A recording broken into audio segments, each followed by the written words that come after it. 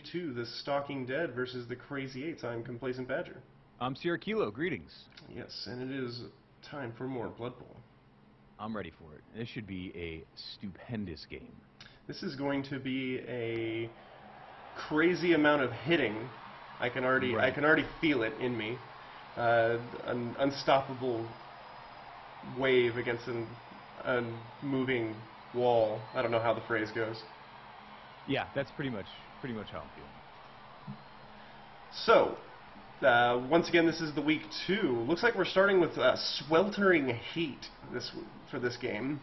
Outstanding. That is uh, that's what we want to see with Blood Bowl. In case anybody isn't aware, a sweltering heat after every drive. That means any time that uh, right before a, basically after a drive, there's always a kickoff. So that usually means after a touchdown or after halftime, a new drive starts. So at the end of every drive, every player that was on the pitch rolls a d6. On a one, they are quote unquote knocked out, but they're a special kind of knocked out that they automatically recover uh, on the next next drive.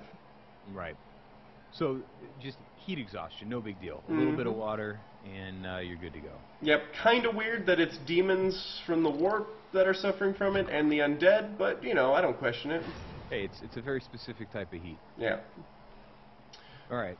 So this is uh, this is building on their last week's matchup, which was pretty good. Uh, saw some interesting tactics last week. I'm looking to see if that's going to continue this time. We saw some shallow kickoffs and some problems with order of operations from these guys. Yep. And uh, I think that toward the end of that first match, they sorted it out, and we'll see if they uh, they can carry that into this week.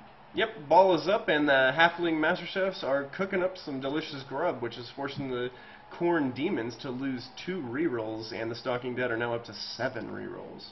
That's pretty brutal. Yes, uh, it's going to be uh, a little tougher for the Khorne Demons. They are the better team, but without the rerolls, they can make mistakes. Right, and mistakes are generally made, uh, just in Blood Bowl in general, and it doesn't even have to be a mistake so much as just bad luck on the die. Yep, accidents, mistakes, they're all the same in Blood Bowl. Right, they they usually lead to death. Yep, only death and only death. So he's got his bloodletter picking up the ball. That's Malaut Corringson, a level one bloodletter. He's got uh, four out of six of his star player points, so he's close to leveling. Ooh, a foul to start us out. that's uh, that's good stuff. Leave it to the demons, the crazy eights, to foul. On a zombie, too. I guess we just didn't like that one guy. Poor Ben. Poor Ben. It'll be fine. So setting up with a kind of like a flying V cage, uh, interesting to say the least. Well, you know, any cage is better than no cage, so let's let's see what the cage breaking abilities are going to be. Mm-hmm. I'm interested to see if he keeps these ghouls back as safeties or not. It looks like he might be. Yeah, I think that's going to be the way to go. Uh, especially because last time he, the dead Um, made had some big order of operations where he left for three different turns. He had uh, the majority of his players uh, were were stuck behind the ball because they hadn't moved. Yeah. Uh, starting out with a one die blitz and getting lucky enough to get defender down. I don't mind it. It's a little too rich for my blood. Oh, I know.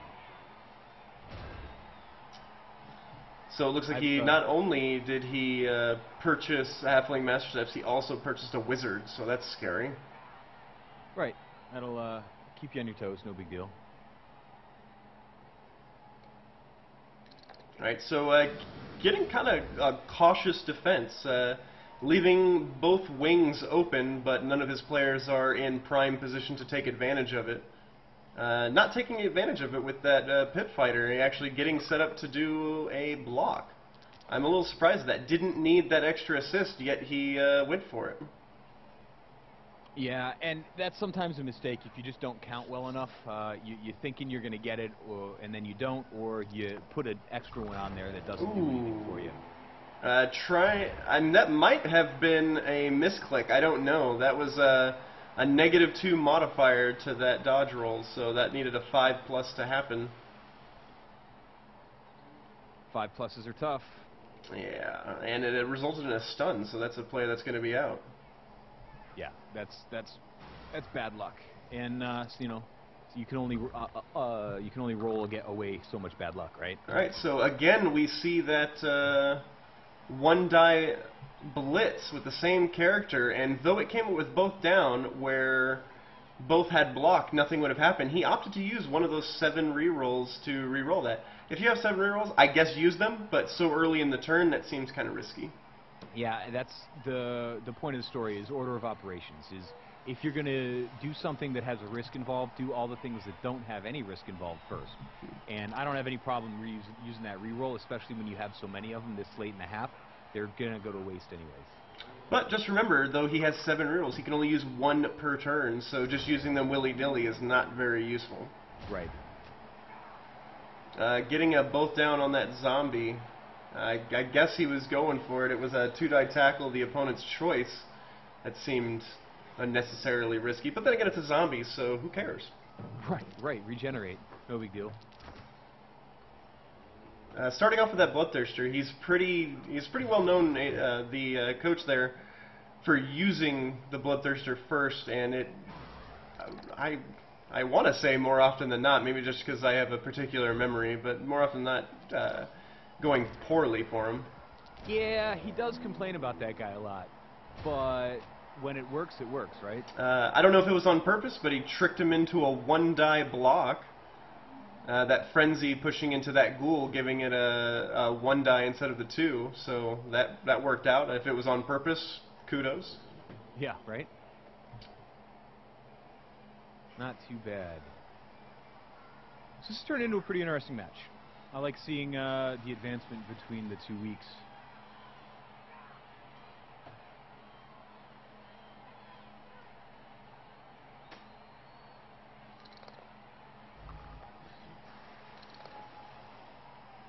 Alright, so using that on a one die uh, results in a stun, so a lot of one die blocks going around.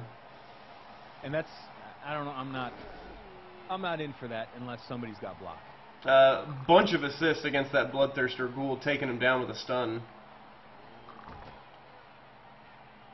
So that, uh, I guess that bl uh, block against the Bloodthirster was only possible because he uh, opened it up with that zombie, so uh, arguably useful. Right. Uh, one die after, I think, already using the reroll this turn on that zombie with the ghoul against the bloodletter. Uh, following up, don't know if that was the best choice. I'd, I'd hung back. Uh, following up, letting him be a target for uh, the Khorne Herald there that has block and Juggernaut. Yeah, that block's a powerful tool, man. If you can get players with that, it makes a big difference. Takes a lot of badness out of those die rolls. Uh, a lot of uh, a lot of people consider block to be the most powerful skill in the game. I think that's true. Ooh, double attacker down. No rerolls remaining. We could thank the Halfling Master Chefs for that. Yeah, buddy. Uh, and that happens sometimes if you don't make good choices on when your rerolls are used. Even if you have two of them, you have to be very careful when you're using them because situations like that arise where it's legitimately just a bad roll. Yeah. And that that's really those are the kind of things that can turn a game. Yep, and if you've used your rerolls on one die blocks or doing poor risk management and things like that, and you use your rerolls up trying to make up for mistakes, then when the actual bad luck starts rolling in, ah, I, I, I feel no sympathy. Um, I feel the same way. Um, I can support bad luck, but I can't necessarily support bad decisions, and a lot of times successive bad decisions lead to bad luck. Mm-hmm. So, uh, one die uh, block attacker down, rerolls into a defender down. Luckily, he's got the rerolls to make up for it. And the ball bounces out and gets a lucky throw in to the back. Yeah, that's crazy, huh? Yep. Ghoul in prime position to take advantage of it, and uh, Khorne not playing any backfield whatsoever, so it doesn't look like it's going to help much. Uh, foul on the Bloodthirster. No big deal.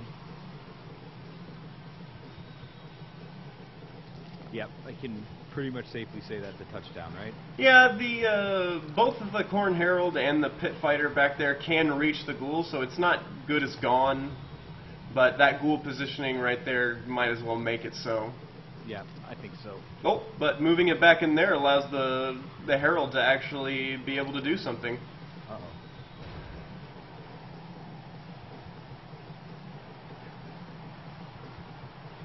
Let's see if that herald can get to grips. Right. It's definitely interesting to see how uh, a more advanced team, uh, one that's played a season, uh, like Action Jackson and his Crazy Eights are playing uh, the Stalking Dead, uh, a, a newer team. Yep. Watching, uh, watching how the strategy has part effect and uh, what just is straight team.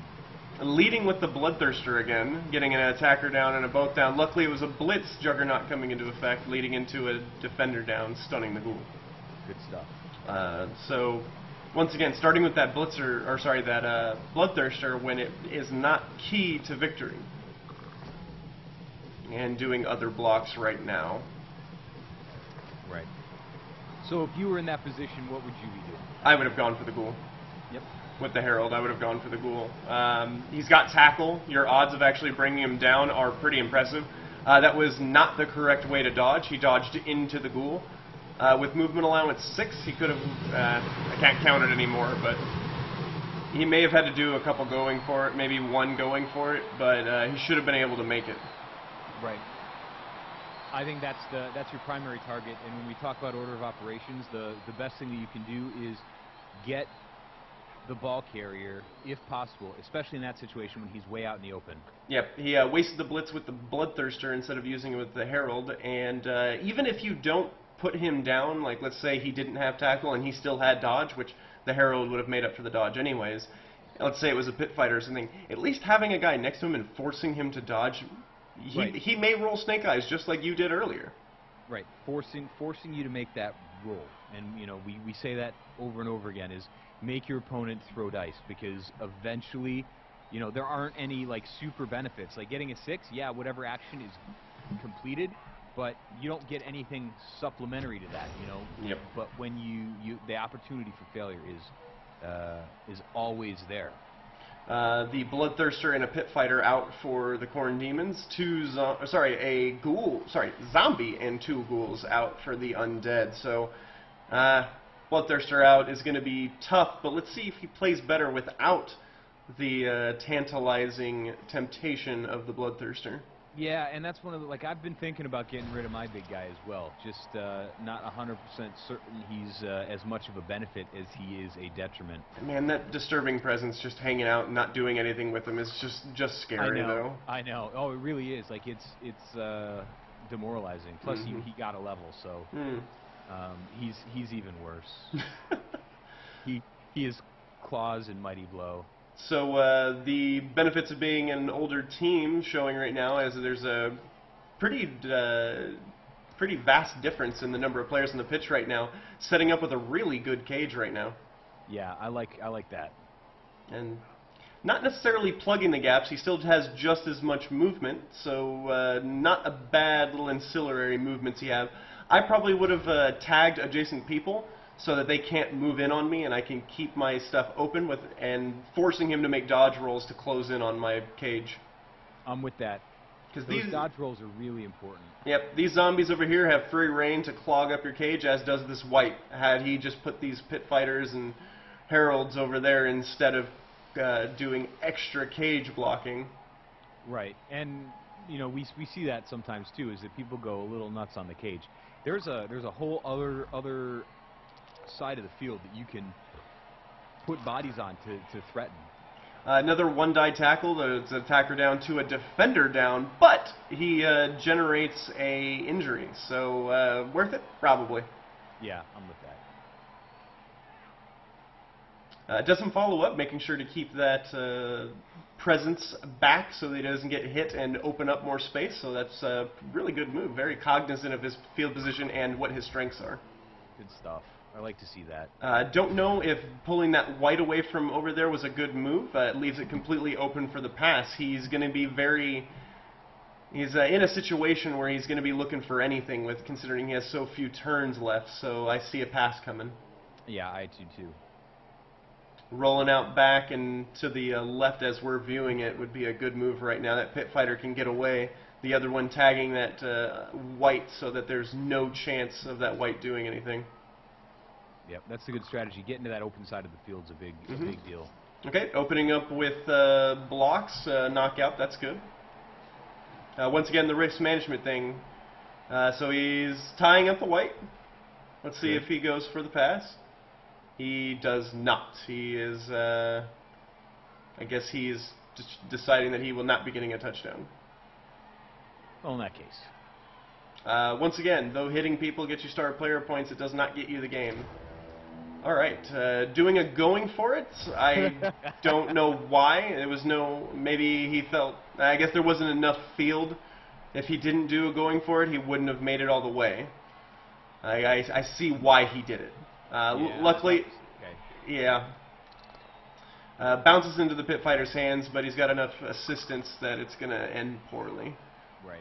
Uh, def- defender stumbles is enough to bring the pit fighter down. Um, do not count out agility three. Agil- agility three can make that. Ooh, ouch.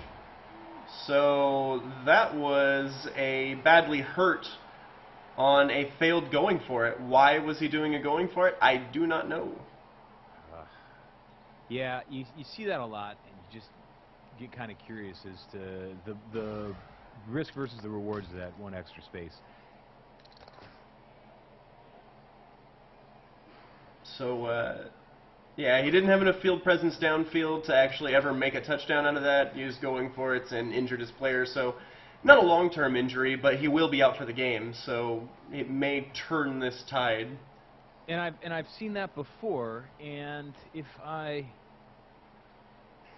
am not mistaken, it was in this game last in the first week was uh yeah just uh, I'm looking at my notes and I can't see it Pit but there was definitely there was definitely a time when uh, we see somebody picking up the ball, going for it uh, on on a turn where you can't can't score. So uh, don't don't do the going for it if you don't have to. Best you know instead roll out to somewhere safe and try to throw the ball. Maybe get a star player point. Yep, uh, foul right there try to get a zombie out to get more of a player presence against your opponent, and then uh, picking up the ball but not going for a pass just for the free star player point is odd to me, especially when you have no chance and your opponent doesn't really have a chance. And that would have leveled that pit fighter.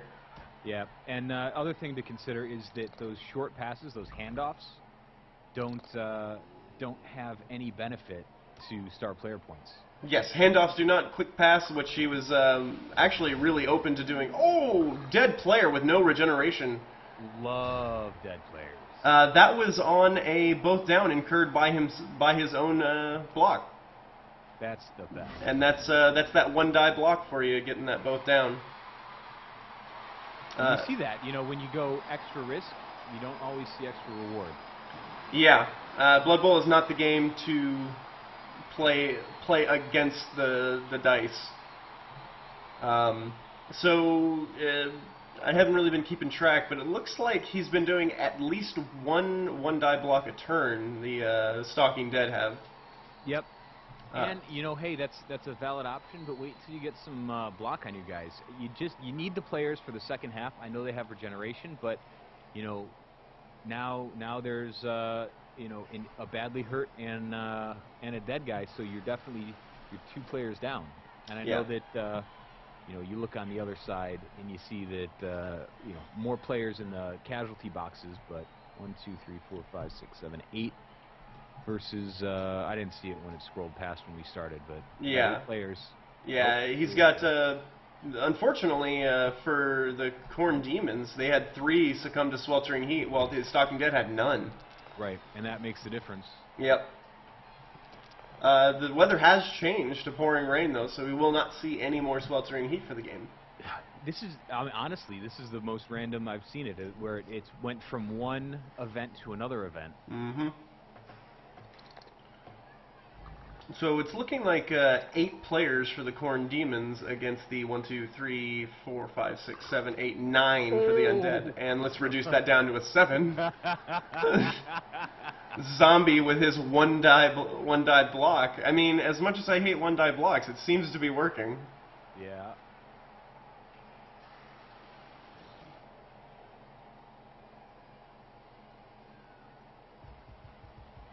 All right, so uh, leaving that flank open for the Herald to roll in. We'll uh, we'll see how that goes. Right.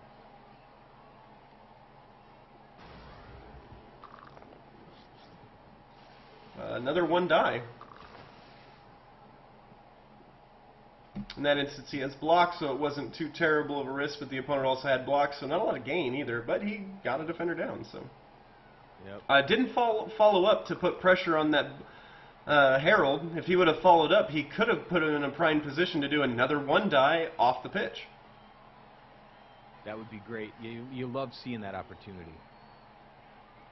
And uh, with the free zombie, he could even have made it a two die, where he's most likely going to put him off pitch. Still has that wizard holding on to it. Oh, lightning bolt to the bloodthirster. Not And there's the wizard. not resulting in much, but hey, why not?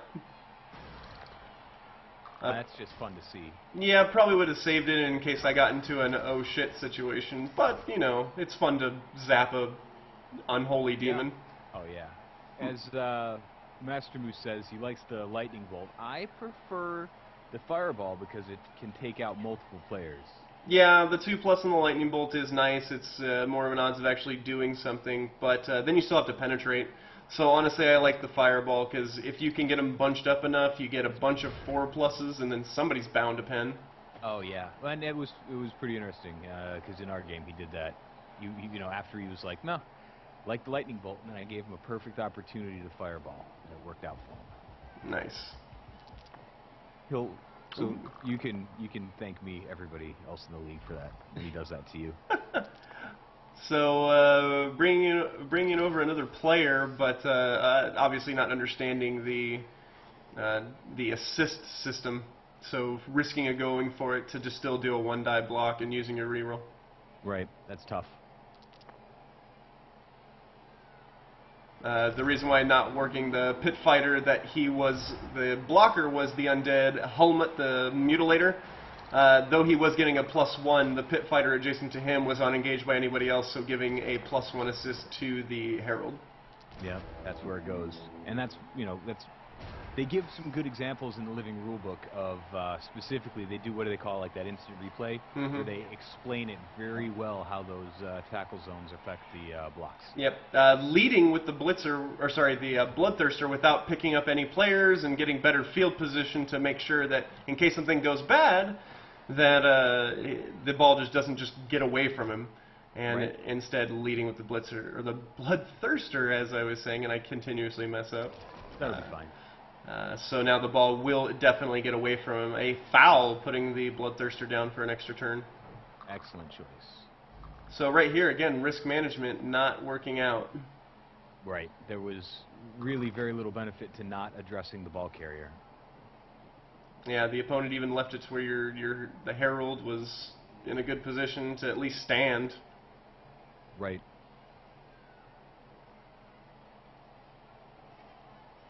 Uh, and odd, the undead not actually moving the ball carrier while having all this chance. I think he's afraid of the pit fighter rolling off or the herald standing up. Yep. We'll see. We'll see how that turns into uh, an opportunity or, Oh. or a missed opportunity. Uh, doing some going for it that's not actually getting him away from anybody.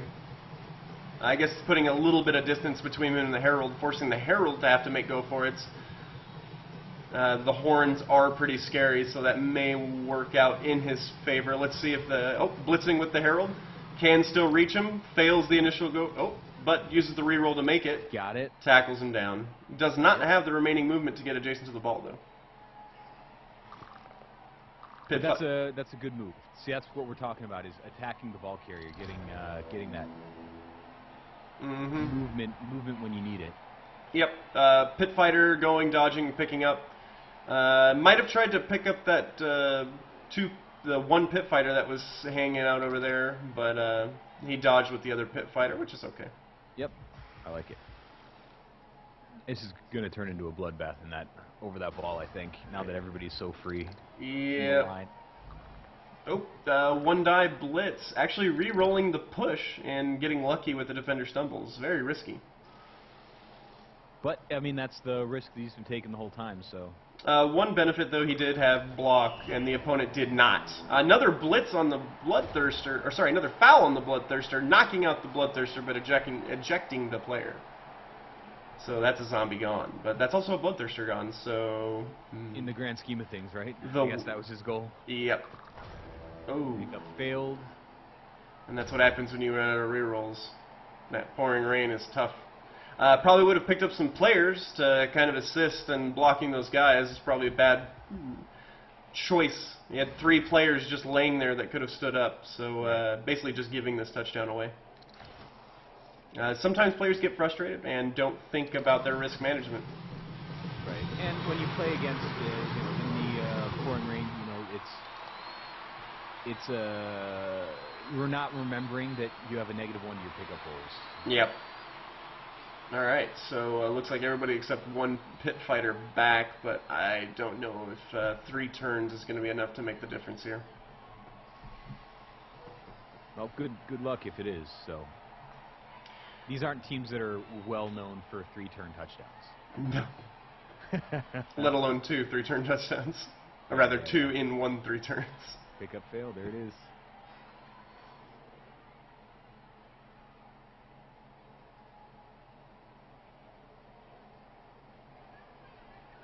Yeah, this is uh, this is one of those lost games. So do what you can to get some star player points wherever possible, and it's not going to be throwing the ball. So use your uh, use your players, get some hits, do what you can. Ball is up in the air, so we have a free turn of blitz.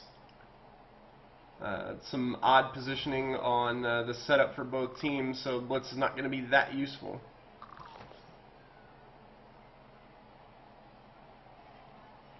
Uh, doing the follow-up, I don't know if I would have done that, but you know it's a zombie. I guess pile him up on the bloodthirster, slow down the bloodthirster. Yeah.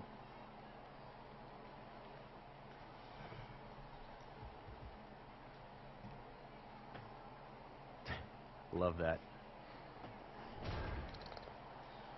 All right, so let's see what the Crazy Eights have to do. All right, pickup fail. Uh, probably would have tried to get some uh, positioning first. That would have. Uh, Yeah. Well, I mean, we just said that that, that those pickups are going to be tough. So use use that as your last or close to last move. Put some bodies around the ball in the first place to defend against the pickup failing. And if you have bodies around it, the pickup fails and it starts bouncing around. You have an opportunity to pick it up. yep. Uh, Plus- and then and then you can worry about. A f- I believe that was a yes. That was a foul, resulting in a badly hurt. Um, yeah, the uh, another benefit of having bodies around is that it doesn't necessarily uh, make the ball open to where the opponent can just come pick it up. Uh, doing a really risky move on trying to grab that ball. Yeah. Uh, nobody giving actual coverage to the ball right now to try to keep the opponent from doing it. So it's just a quick back and forth on who can pick the ball up first. Uh, especially with the ghoul and this open lane, s- s- it is really, really poor defensive playing right now. just well, it's, it's everybody's so focused on picking up the ball. It's great. All right, get people there. Good move, good move. You know, just because you know, and you know, a little frustrated at this point watching this, but just remember, if you are losing, do not just give your opponent star player points. That will make them that much tougher the next time you have to play them. Yeah. All right, no attempt to even blitz the ghoul to reduce your negative modifiers. Yeah, it's it's just a, a shit show at this point. Yeah, uh, I feel like there's a lot of frustration going on uh, instead of thinking. Yep, and that's I mean you'll get that when you're when you're already in a position uh, where either you've won and you can't be bothered to think of the negative consequences, or you lost and Woo. you're frustrated and it, it's you're already you're dealing with a slippery ball anyways. I mean that's a frust that's a just built for frustration. Yeah, the only thing I could say really is uh, for the Khorne Demons is uh, focus on your risk management and do not lose your head. You need to make sure that you're thinking to every second of the game. The moment that you think you've lost, you have lost because you're just giving yourself up. Uh, though this game, was, there was a couple examples where the game was already completely lost. Had he been playing every turn to his maximum potential, Blood Bowl is never over. It's not over until that end of that 16th turn. You can still do it.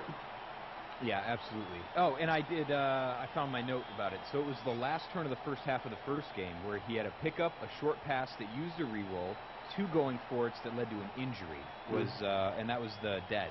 So uh, showed that he he kind of did that again where there's no reward. So don't take the risk. And you're talking specifically for the uh, Stalking Dead doing that. Right, the stalking dead. So they did that last time and they did it this time as well. So, Yep. Uh, uh, the advice I have for the Stalking Dead: careful with those rolls. Uh, make sure that you understand the odds for every roll that you're doing, and understand whether or not there is those odds are worth the risk. A lot of times, honestly, with the odds, they wouldn't have been worth it for me. You did come out smelling like a rose on this time, but it will not happen all the time. Just be Right. be ready to deal with the consequences.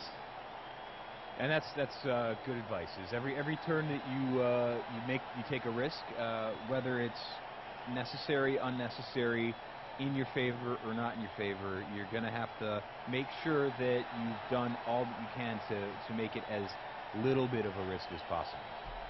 But Alright. other than that, good win. Yep, that was a it was a pretty good game up until about the last three or four turns, but uh, it was it was hard fought at the very least. For sure. All right, well uh, we will see you for the next game. I hope everybody has a good time. Cheers. Cheers.